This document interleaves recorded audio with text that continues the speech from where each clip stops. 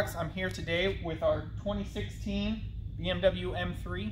It is the F80 generation. Today I'm going to show you how to install our mud flaps and or our spats. They install the same. Um, one is a little bit larger than the other. But yeah, we'll go ahead, get this on the lift, get the wheels off, and I'll show you how to do the install. Before we head over to the car, I'm going to show you here on the table what you're going to get in your kit and kind of the differences between our mud flap and our spat sizes and also just kind of like give a breakdown of what hardware is going to come in your kit. All right, so here's kind of the overview. These will be our mud flap size, and as you can see, they are just a little bit longer, a little bit more offset, and they don't have the rounded corner. These are our more minimalistic splash guard, and the install for both of them is exactly the same. It just depends on the size that you want and the amount of protection that you're going for. With your rear set, you're going to get four three inch screws. We just have a half set right here. You're going to get four washers per side, and then you're going to get a larger 1.75 inch spacer and a smaller inch and 3 eighths spacer. For the front, you're going to get three number 10 screws, three of our red nylon clips, and three small washers.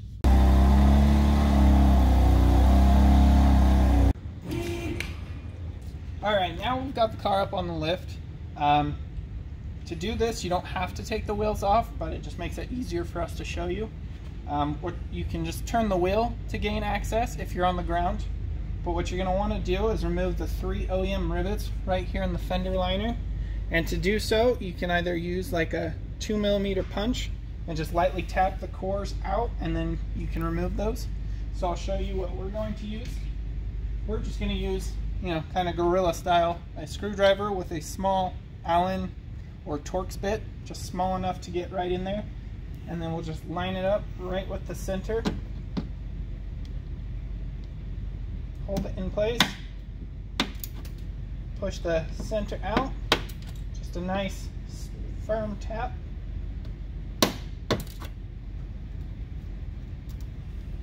There we go. With those cores punched out, we'll just go ahead and throw a flathead bit into our screwdriver. Go ahead and just pop these out.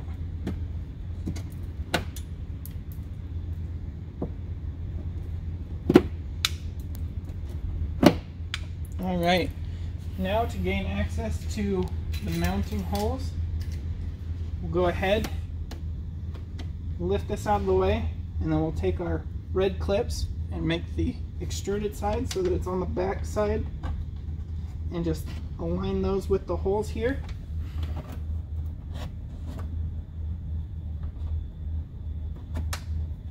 Go ahead, put it over the liner and you can just kind of slide it down over the hole and put it in place. And then we can just let the liner relax back into its natural position.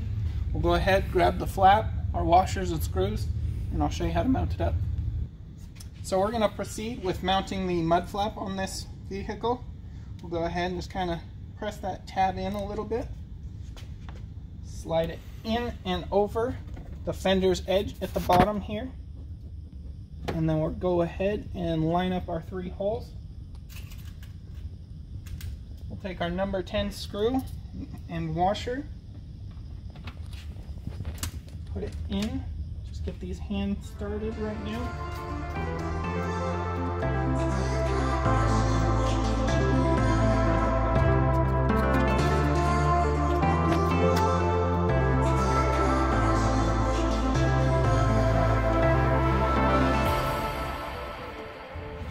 The holes in the flap are slotted to allow about a quarter inch of adjustment. So you can, if you want them a little more aggressive, you can pull them all the way out. If you want them a little more sleek, you can just push them all the way in. And we'll just go ahead, get these to the position that we want them at.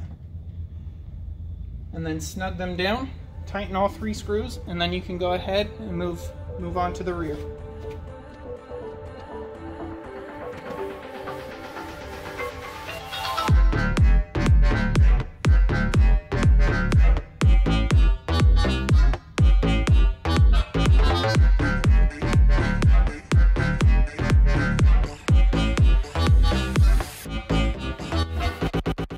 We're at the rear of the vehicle, I'll go ahead and show you what screws to remove. You'll need an 8 millimeter on a wrench, and then we'll go ahead and undo these two screws right here in the fender liner. Get those out of our way.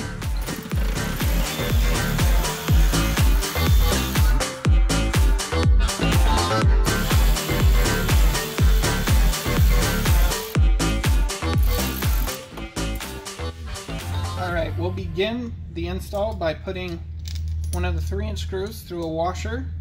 We'll then put it through the lower hole in the flap, followed by another washer, and then the inch and 3 quarter spacer. Now we'll take this and we'll mount that, we'll hand start it into the lower hole, and then we'll move our way up to the top hole.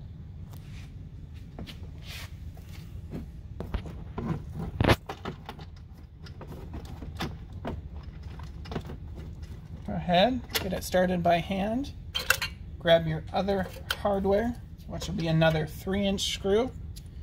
Put it through a washer, and then we'll also put it through the flap.